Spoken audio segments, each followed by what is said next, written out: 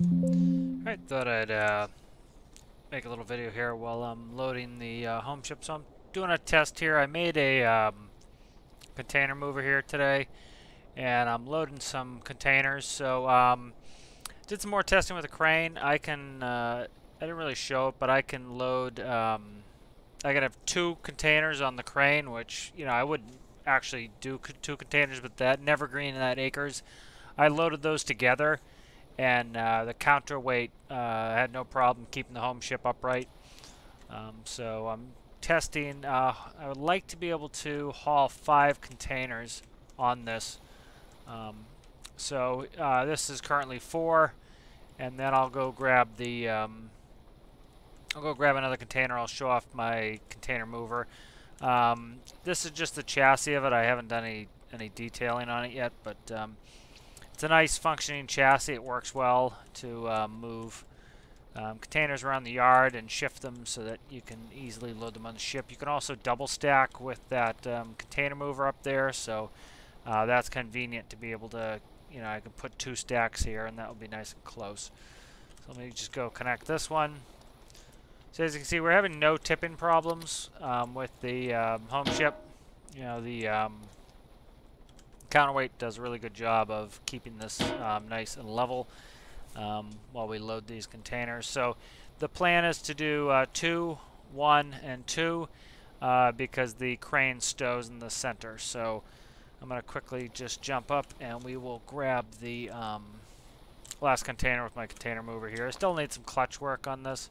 Um, but we have a uh, manual gearbox, which I prefer. And uh, turn the volume up just a little so you can hear the engine, but it, it auto clutches. Um, I like the manual just because you're mostly going to be running with um, first and uh, reverse gear with this. Need a little bit uh, quicker clutch action, so I'll just change the uh, figure on the up-down counter. So this um, is a uh, fixed fixed boom up. It has up and down functions, and then you can do um, Three will extend the uh, carriage to um, to pick up containers.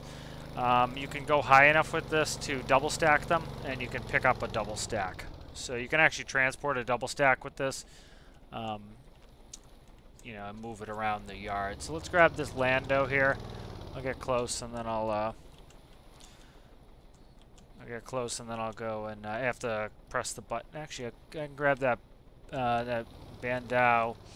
That's already uh, has the green light on the top, so I'll just hit it with my uh, tires here and straighten it out. So you can use the frame of the uh, container mover to push it as well. Um, you know, in real life, you wouldn't really want to push it; you damage the bottom of the container. But um, you know, in this, we don't have to worry about that. So just line up.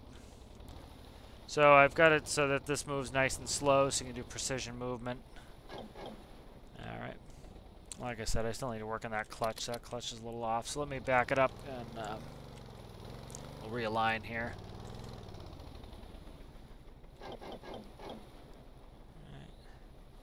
And we'll go forwards.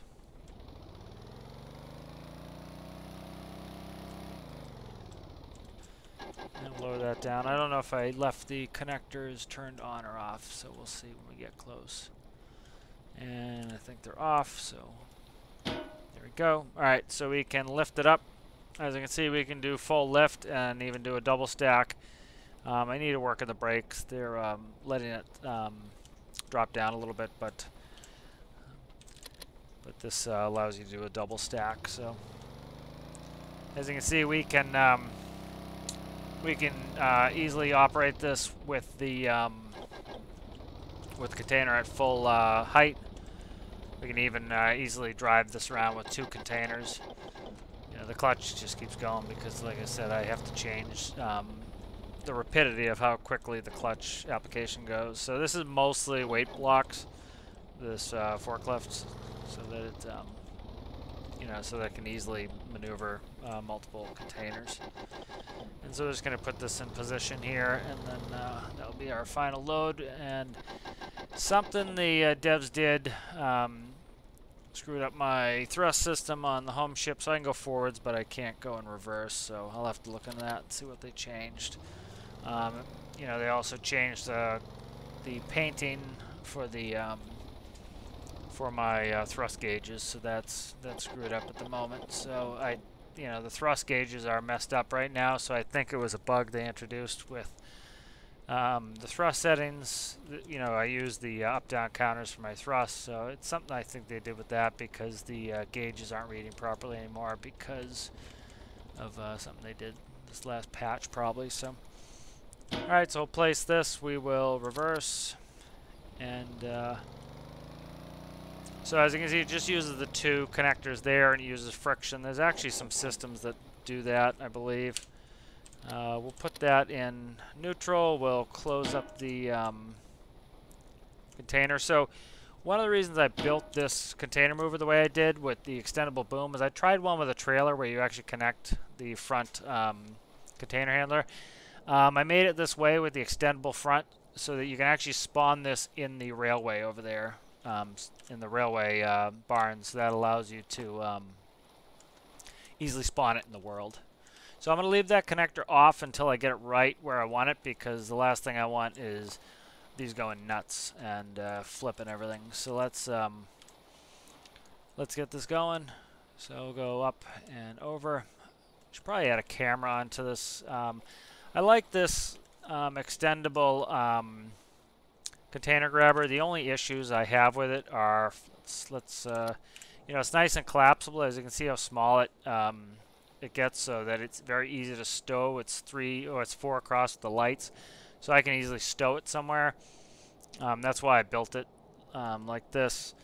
Um, the only issue I have is mostly aesthetics where if you look you can see the upper pistons um, you know, you got a little bit of glitching going on there where the uh, piston housings aren't perfect. So um, that looks like angle of the um, of the upper pivots is different. So I'll have to I'll have to mess with that. Um, I get really sp specific with how I like that stuff. So all right, and we will turn on our connectors there. And there we go, we're connected. So like I said, um, as you can see with this, you can see how the uh, pneumatic pistons glitch. I don't like that, so I might make a new one. As you can see here, we have uh, four deck loaded. We have the container off the ground, and you see we are listing a little bit. Um, but the counterweight is keeping us at a minimal list. Um, I haven't plumbed up the ballast uh, system, but we'll also have a system on there where the ballast water will um, will also fill to, you know, so if you were actually going to go in transit, with, say, an imbalance like this, um, the ballast water could account for that and uh, change. So we definitely want to get this close and right on top because we don't want this, you know, connecting to two containers and, and tearing everything apart. So you see I'm hung up on something. Let me see what I'm hung up on. I like to do it in first person perspective, so I want to make it so that it's easily uh, controllable in career. Alright, so we should be close enough for a connection. Let me look. Yep, doesn't look like we're hung up on anything. We're, we're nice and close. Let's go connect this and hopefully nothing goes awry. I gotta jump and get it. And there we go. That should snap. There we go. Alright. So I'm going to try stowing this. Um, in this whole setup here. So um, let me take a quick picture.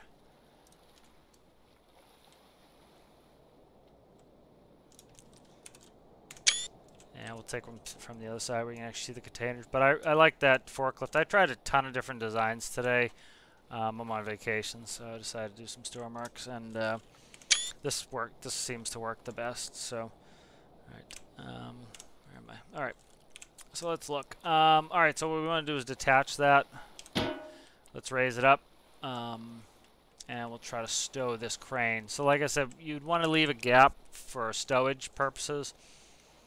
Um, press F8 and that will close it up. So um, I have this, of my planes have functions. So these are uh, the F's for function. So it's eight function keys. So whatever module you'd put on the crane, um, you know, you'd be able to see what the actual um, function is, and then you can do up to eight functions, which, you know, I could add more, but that's currently it's set to eight functions, which I think what's we have two is a light um, extension and then um, disconnection. So might not be able to get this uh, in front of the container. Let's see where we're at here. Um, I was hoping to get it right in front, but I think if I rotate it, I should be able to get this stowed. So let me rotate this.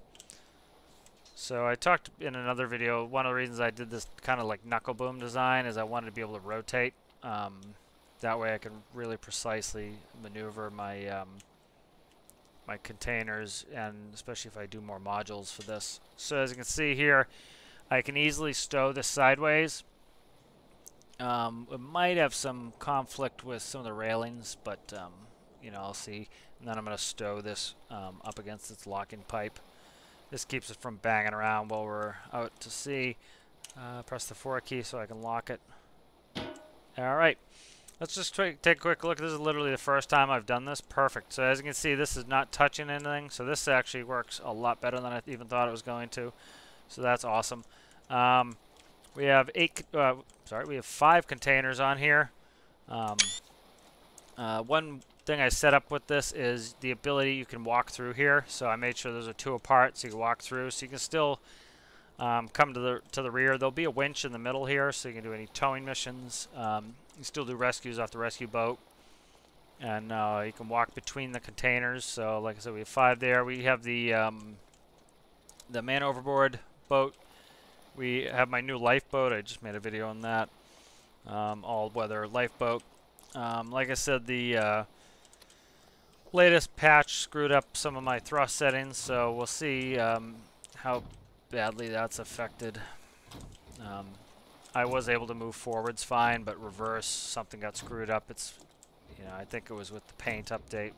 Um, kind of screwed something up, so. Alright, let's get started up here.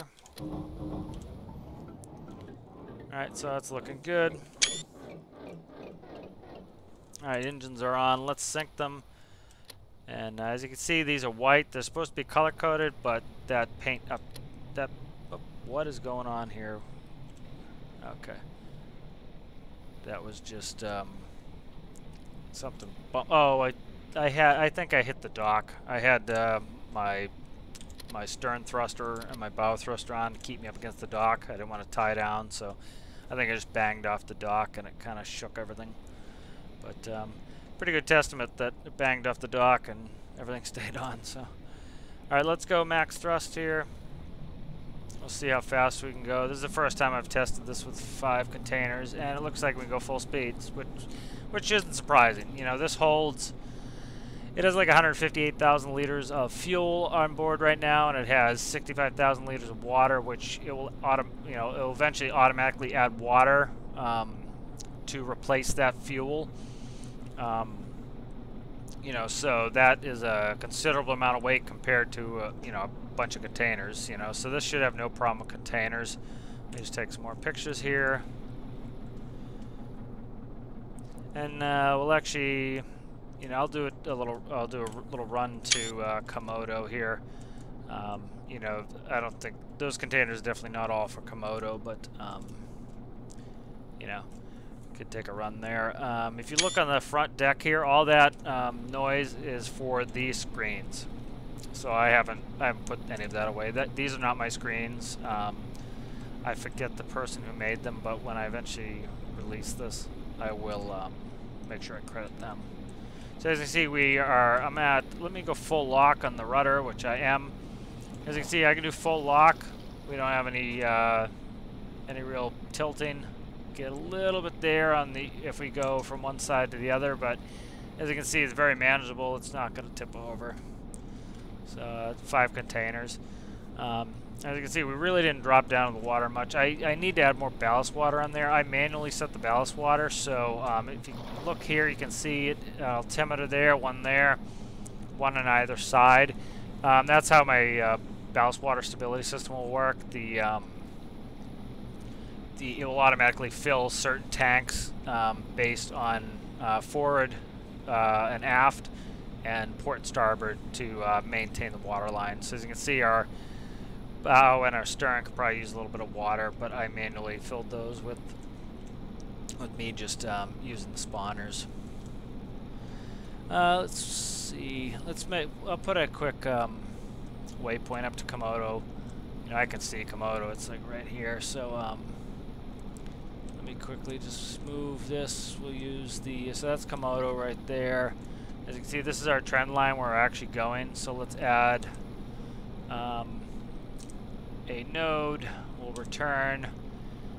We will zoom out, and I'll add a little bit of right rudder and we'll make that trend line match up with Camodo. You know, eventually I'll put an autopilot on here. Too much. We'll bring this orange line back to meet Camodo, and then we'll zero it out.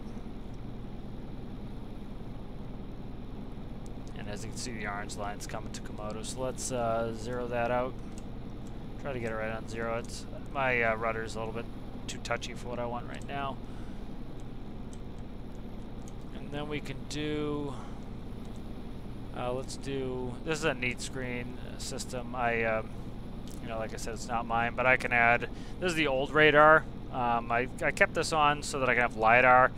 Um, I don't know why this screen isn't turning on. I might have put it on a button, I can't remember. Um, yeah, sonar on. So this is mine as well. So all this will be credited, but I have a sonar on here.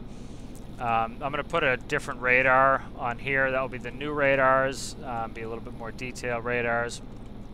Prob um, you know, if I sit in the seat, you can see this is me. The, this is the compass. That's the rudder um, angle, and these I might do multifunction or just do uh, cameras. You know, I can control some cameras in here already. So let me go through. Um, and we can zoom out here on the radar.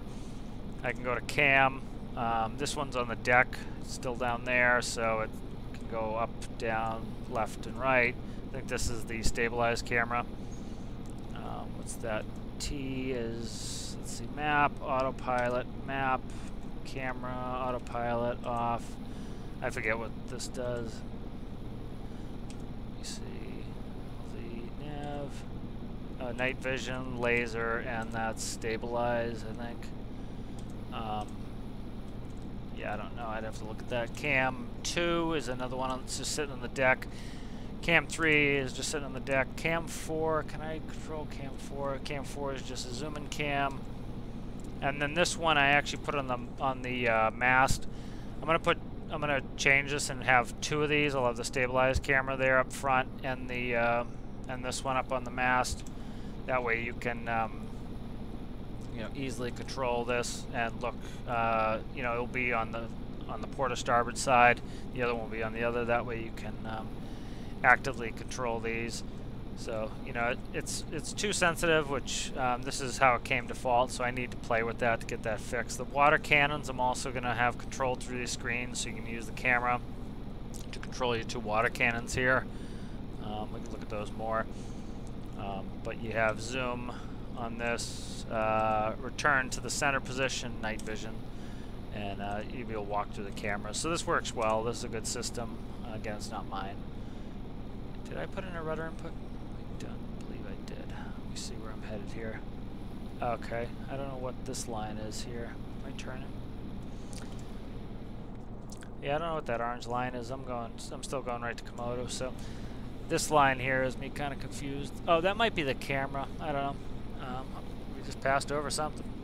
I don't I don't know this uh, this sonar system very well either. So, but um, it's kind of a neat system. So let's see what else we can do. So it's not a. I was in flying mode. Okay. So let's uh, kind of look at some other stuff while we're waiting to get to Camodo. We're almost there. Um, let's quickly look for anyone who's interested. So this area here is going to be kind of the main communal area. Um, you know, I might do paint block TV and some game stuff and kind of a lounge so that, you know, if you were working on the bridge, you can come down here and, you know, have uh, kind of a hangout, have a lounge area. Down here is where you can have the uh, the staterooms. Uh, these are much bigger than the real ship. The real ship holds like dozens of people. This one's going to be for a much smaller crew. Uh, gonna have some stuff in here forward in the bow. There's still a lot of space up there, uh, but I'm gonna make space for anchor lockers and stuff. Um, and then down below here um, is the least fleshed out area. As you can see, we still have a lot of bow area up there. Um, that's where the staterooms are. Um, but back here we have our, our diesels. Um, still need to, you know, this has not been hit at all really for, um, for finishing. Ballast water, 65.8, um, and that's 124,000 liters currently on board of uh, fuel oil or diesel. Alright, so we're getting close here. I'll just dock and we'll end the video there. And it's a little bit on the long side, but you know, I'm just trying to test out um, these containers. Let's add, um, let's add, we'll do 65% wind. We'll give it a little bit of wind to play with here. Um, do a quick pick while I'm at it. Um, you know, first time I've had five containers on here, so I want to test it and make sure that everything's in good shape. So but appears to be doing well. You know, we have a, uh, looks like the wind is from the starboard, you know, from the waves, the, the uh, exhaust, and so we're getting a little list to port, which is fine. Um, getting a, looks like a manageable list there. Um, you know, this should have more ballast water in it, like I said, so it should be sitting even a little bit more stable than it is right now, but as you can see, it's, it has no problem. Um, you know, and you wouldn't, IRL, you wouldn't want to be going, um, broadside to the waves like this, so this is going to be the biggest, um, you know, test as a full broadside on the waves. But uh, it's coming along. So, add a rescue zone paint there for where the man overboard and the lifeboat are. Rescue boat here. That's a functioning um, outboard. I had to simulate and fake the outboard here as, a, as an electric for the uh, little skiff just because the parts are too big. And uh, one thing I could test here as we come in, um, I haven't tested this with full container, so I kind of wanted to do that. That's just New Jersey's PID tuner that I left on there when I was doing the ballast, um, the ballast weight. Here we go. A little bit rocky seas here. Um, so up here, uh, I want to test, see if you can drop the barricades full which you can almost do. They hit the containers, but as you can see, it's not a problem. And as you can see, this is designed so this crane will stow right above the container. Um, that's why you know I can deck load uh, five and not six. That Camodo, yeah, we uh, we got pushed around. I think it was me hitting and interacting with something. So let's quickly go back up and we'll steer into Camodo. Come on. Try to close all these doors and Oh, come on. Having door problems here. I can leave the door open. I'll just walk it up. I'm trying to keep it safe for if we had got any water in here, but um, I'll add auto ballast later. Okay, I left a bunch of rudder in there when I um, I left a bunch of rudder in there when I went down, so that uh, steered us way off. So it was a good test. You know, we were shaking around and doing doing fine.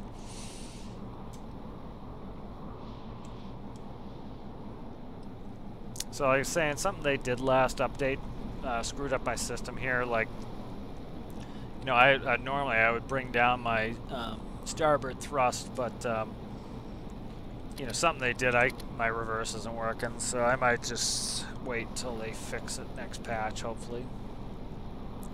But uh, this is somebody else's compass system. I'll, I'll, make sure I link that, you know, when I eventually put this out. But um, yeah, I really like having this. It's nice, easy, quick visual representation of the compass heading. And there's Camodo. I'll uh, turn down the wind here. There's no point banging on more wind. Make dock it a little bit easier. I can't do uh, as efficient of a docking because I can't, like I said, I can't put one of the screws in reverse because of uh, something they did, so I can still use uh, forward thrust and I, I, have bow and stern thrusters, so that'll make it pretty easy to, uh, to get in there. But we should be able to cozy right up next to the Camodo dock and uh, and that'll kind of show proof of concept that we can haul five containers in there. But everything fits really nicely. Um, you know, just, just, finished up these two little boats in the middle. Um, container works containers stow really well. As you can see, they did really well with the high seas. Crane worked really well. Um, need to hook up our fire cannons to the camera system so you can use those. That's, those are the same type of uh, cannons that I had on the Damon 2111. Have the same control system. Still some work to be done on the mast. Um, as you can see, we have an old radar and then a new um, radar. That's the LiDAR. Uh, turning there. What else? Uh, the lights are all where they're supposed to be. I have to just pull the microcontroller from the Daman 2111 and connect that to get all the lights working for all the different um, you know situations. So the lighting will be accurate. Alright, we'll start backing off on our thrust here. Really nice, precise thrust control on this. Um, you know, we were going 22 knots, easily got down to 15. Let's start slowing down some more. Let's get down to like 8 or 9 knots maybe. Alright, we'll start putting in a little bit of rudder. Won't do too much. I'm going to use the bow and stern thrust to do most of the work. Like I said, I can't. Like right now, what I would normally do is I would just use the port screw. But, um, you know, because that would also turn us and it would let us do a slower speed very easily, but and, and turn us. But um, you know, they screwed something up that I have to fix. So, all right, so I'm gonna start going full stern thruster. I'll just go full hard right rudder here, and then I'm gonna need some bow thruster out because I did too much. I'm still coming in too fast. So there we go. All right, and we hit the dock a little bit, but uh, we should be able to get right in. Let me um, start bringing back in the um, bow thruster here. This should actually work pretty well to get us right up the dock, right where we want to be. For some reason, despite the bow being much heavier, that bow thruster is much more powerful than the stern, so I don't quite know why it's like that. Just give it a little bit of um, bow out, so we're not pickling it right up against the dock. You see, easily comes in and docks. We're going to zero those both out, and that should coast us right in. Alright, and that's a nice easy docking. As you can see, we could easily uh, offload all five containers right in that area there um, for a mission. Alright, thank you for watching.